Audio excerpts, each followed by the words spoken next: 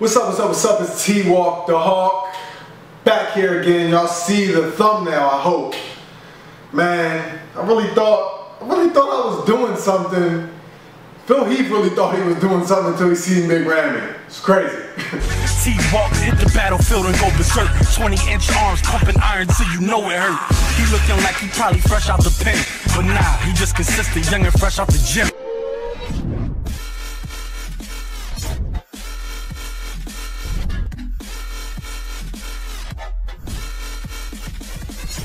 Alright, so again, y'all see the thumbnail. That thumbnail was not photoshopped. You can find this picture on Instagram. You put hashtag Big Ramy, it's gonna be in the most popular. Everybody's talking about it.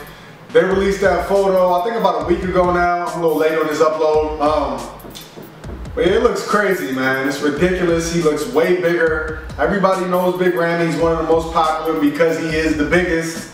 He's the biggest freak show. He's the biggest to step on stage. So we never really thought that he could get any bigger. Well, he's done it.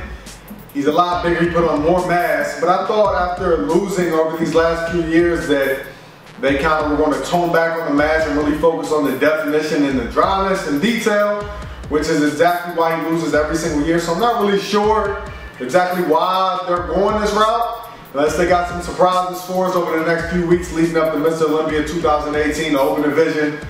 But it's definitely bigger.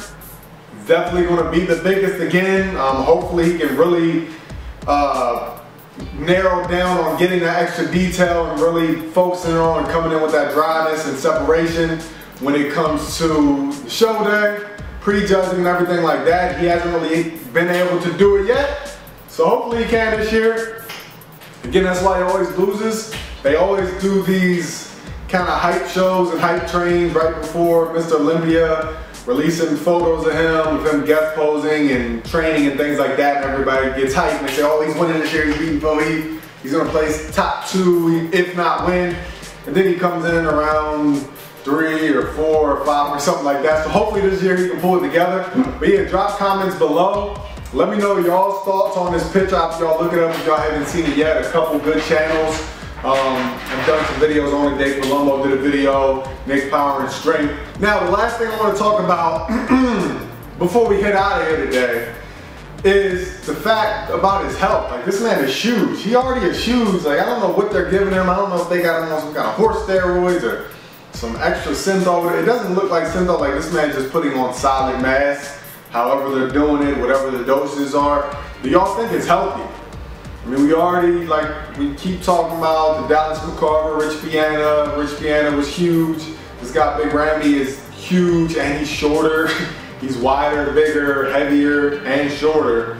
So, I just don't think it's healthy. Again, anyway, whether it's muscle or fat, it makes your heart work that much more.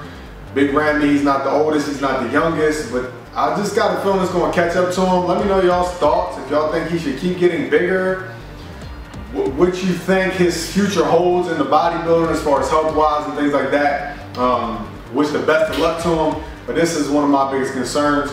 But anyways, I always check them out, like their stuff. Um, but yeah, I'm gonna keep dropping videos like this, talking about the biggest topics in fitness, bodybuilding. Of course, I'm still doing my fitness advice videos on weight loss, if you're a beginner bodybuilder, whatever the case may be. I got all the playlists put together, that way you can just binge watch. But I'm gonna make this video quick. Hopefully this video was informative so y'all can check that out. Stay tuned for more. Like, comment, definitely hit that subscribe button. Make sure you check out the new apparel at T-Walk the Hulk Fitness on Instagram. And the website is T-Walk the Hulk Gear. I'm looking for reps right now, so follow me on Instagram if you're interested in that. Message me, whatever the case may be. Got some good programs set up for that. And as always, do what you gotta do do what you gotta do, do what you gotta do, because it's that simple. T-Walk the Hulk, I'll at y'all later.